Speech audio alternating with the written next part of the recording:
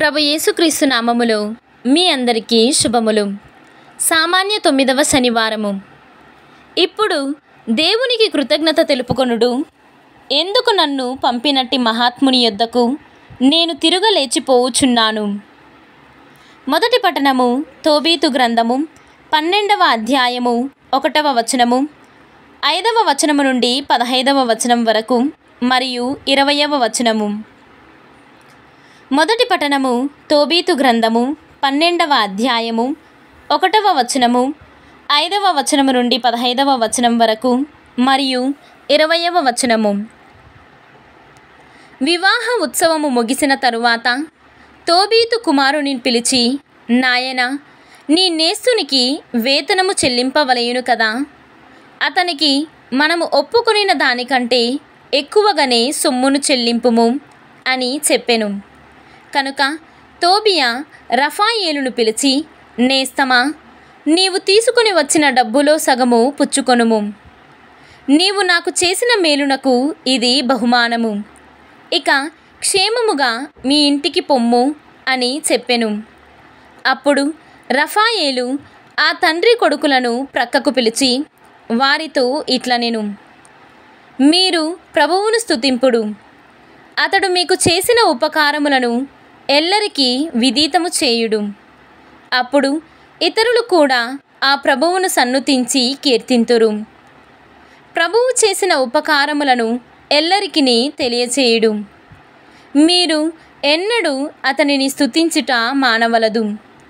రాజును గూర్చిన రహస్యమును ఎవరికిని చెప్పకుండుట మేలు. కానీ దేవుడు చేసిన మేలులను ఎల్లరికీ ప్రకటించుట మంచిది. అప్పుడు అందరూ అతనిని గౌరవింతురు. మీరు మంచిని చేయుదరేని మీకెట్టి కీడును కలగదు. ధనమును కూడబెట్టుకొని దుష్ట జీవితమును జీవించుట కంటే చిత్తశుద్ధితో ప్రార్థనము చేయుట మంచి జీవితమును గడుపుచు దాన ధర్మములను చేయుట మెరుగు. బంగారమును కూడబెట్టుకొనుట కంటే దానము చేయుట మేలు. దానము మిమ్ము మృత్యువు నుండి కాపాడును. మీ పాపములల్లా కడిగివేయును దానము చేయువారు దీర్ఘాయుష్మంతులగుదురు. పాపపు పనులను దుష్కార్యములను చేయువారు తమకు తామే కీడు తెచ్చుకొందురు. రాజును గూర్చిన రహస్యమును గుప్తముగా ఉంచవలయననియు దేవుడు చేసిన మేలులను ఎల్లరికీ ప్రకటింపవలయననియు నేను ముందుగానే చెప్పి తిని ఇప్పుడు ఏమీ దాచక మీకు పూర్ణ సత్యమును తెలియజేసేదను. తోబీతు నీవును సారాయును ప్రార్థన చేసినప్పుడు మీ మనవులను నేను దేవుని దివ్య సన్నిధిలో అర్పించి తిని. నీవు చచ్చిన వారిని పాతిపెట్టునప్పుడు నేనును అట్లే చేసి తిని. నీవు భోజనమునకు కూర్చుండి అన్నము తినకయే లేచిపోయి పీనుగును పాతిపెట్టి వచ్చినప్పుడు ప్రభువు నీ విశ్వాసమును పరీక్షించుటకు నన్ను పంపెను. నీకు ఆరోగ్య దానము చేయుటకును నీ కోడలు సారాను పిచాచ పీడనము నుండి విడిపించుటకును దేవుడు నన్ను పంపెను. నేను దేవుని దివ్య సన్నిధిలో నిలిచి అతనికి సేవలు చేయుటకు సిద్ధముగా నుండు ఏడుగురు దేవదూతలలో ఒకడనైన రఫాయేలును.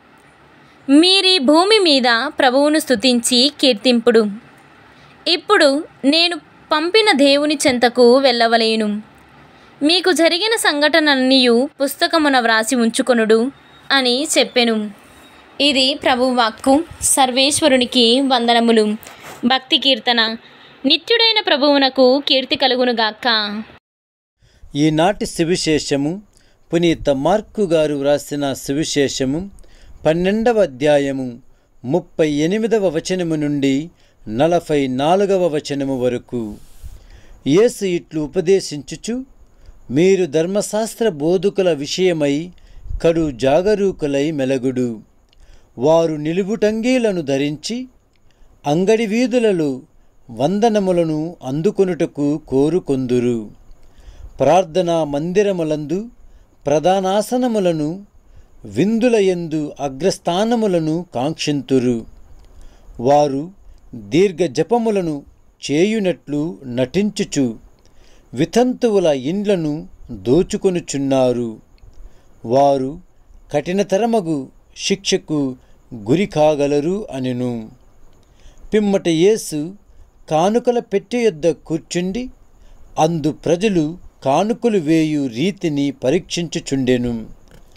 ధనికులు అనేకులు అందులో ఎక్కువ డబ్బు వేయుచుండిరి. అప్పుడు ఒక పేద విధవరాలు వచ్చి రెండు పైసలు మాత్రమే వేసెను. ఆయన శిష్యులతో అందరికంటే ఈమె ఎక్కువగా దానము చేసినది. ఏలైనా వారందరూ తమ సమృద్ధి నుండి కానుకలు వేసిరి.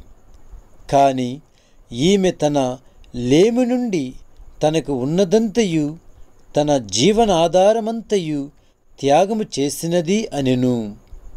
ఇది క్రీస్తు సువిశేషము. క్రీస్తువా మీకు స్థుతి కలుగునుగాక.